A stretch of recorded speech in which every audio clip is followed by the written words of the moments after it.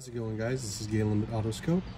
Uh, we have here a crank reluctor wheel for an N55 out of a 2013 335i and what the car was doing to us was showing a uh, crank signal implausibility code and we had just done a rear main seal and we were really careful and meticulous about the way we reinstalled everything. We even put this reluctor wheel in a uh, plastic bag to keep any particulate from getting on it.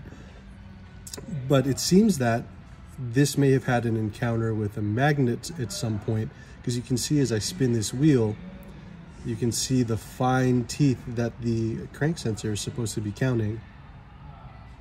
And it's gonna keep going, keep going, and it's gonna count all those teeth. And that's how the ECU knows the engine position. Sorry, I'm kind of all over the place. Let me skip back to where we were. So it wants to see a big gap to tell the ECU that, hey, we're at the reset point of the motor. Um, we're at top dead center again. But what this crank reluctor wheel has on is actually two big gaps in it when really it's supposed to only have this one and it has a, rather a dead spot here. You can see where the edge of the teeth are trying to read, but these teeth here are completely dead. And this is just one of the things we do with our in-depth diagnostic here at Autoscope.